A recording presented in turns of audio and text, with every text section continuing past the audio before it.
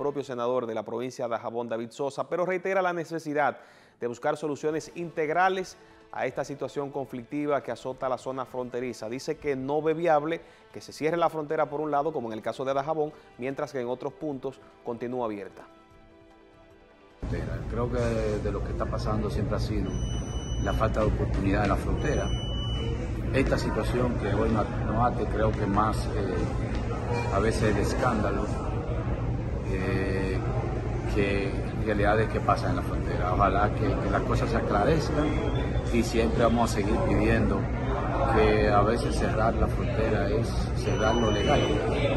Habrán otros métodos, pero también que cuando se tome una decisión de cerrar frontera, se cierre la frontera completa.